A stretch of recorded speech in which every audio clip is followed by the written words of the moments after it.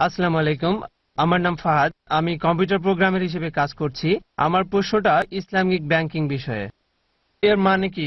যখন কিছু ইসলামী ব্যাংক বলে যে তারা লোন দিতে যাচ্ছে, আর এক্স পার্সেন্ট এপিআর এটা কি সুদ না? এটা কি সুদ হচ্ছে না?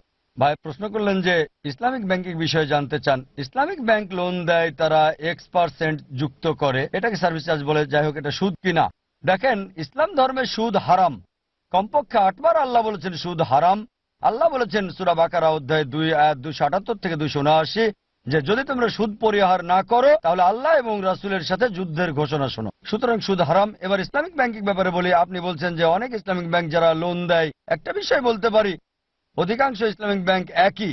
আমি একটাও ইসলামিক ব্যাংক দেখি না যেটা একশো ভাগ ইসলামিক। আমার জানা মতে নেই। থাকতেও পারে, আমি জানি না। আমার ইচ্ছা আছে ইসলামিক ব্যাংকিং এর ব্যাপারে। তবে কিছু আছে মার্শাল্লাহ কাছাকাছি ইসলামিক। অনেকগুলো আবার ধোকাবাজি। শুধু নামে মাত্র তারা ইসলামিক। মনে রাখতে হবে যে, সাধারণ মানুষ হিসেবে যাচাই করতে পারলে যাচাই করবেন।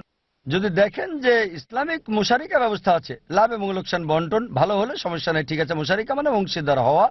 এখন অন্যটা হচ্ছে মুদার এবার বিষয় মানে ব্যয় সংযোজন। এটাতে আবার অনেক সময় লোকজন ক্ষতিগ্রস্ত হয়ে যায়। অনেক সময় এটা তেমন কিছুই না ধরেন, শুধু সরাসরি না খেয়ে একটু ঘুরিয়ে খাওয়া, এইভাবে নাক ধরা। এটা আসলে কিছু না, দৃষ্টি আকর্ষণের কৌশল আর কি। তাই আমাদেরকে যাচাই করতে হবে। অনেক ফতোয়া আছে, এটা বৈধ, অনেক বিষয় বৈধ, অনেক হারাম বিষয় আছে। তাই যখন কোনো ইসলামিক ব্যাংকের ব্যাপারে বলবেন, তখন দেখতে হবে শরিয়া বোর্ডে কারা আছে। শুধু নাম দেখলেই হবে না, সেটা গুরুত্বপূর্ণ না। তারা কি করে ইত্যাদি।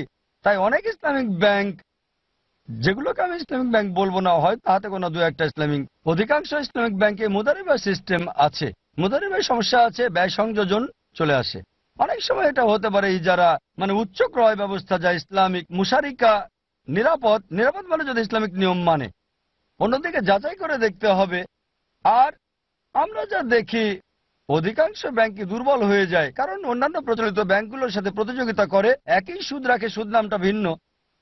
নামটা আলাদা লেভেলটা ভিন্ন, কার্যক্রম সবই এক। তাই আমাদের সতর্ক থাকতে হবে লোন নেওয়ার সময়। কিন্তু কোনো সাধারণ মানুষ যদি মনে করে এটা ইসলামিক, তাহলে নিতে পারে।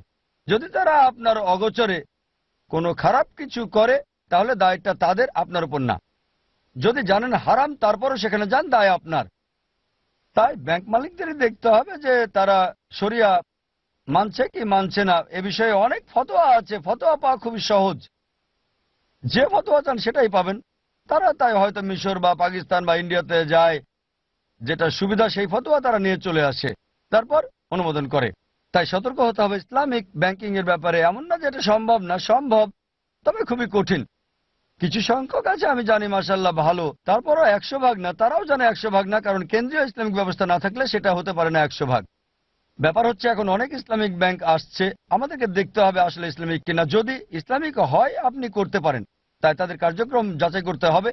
তারপর সিদ্ধান্ত আসবেন, ভুল না সঠিক। আশা উত্তরটা পেয়েছেন।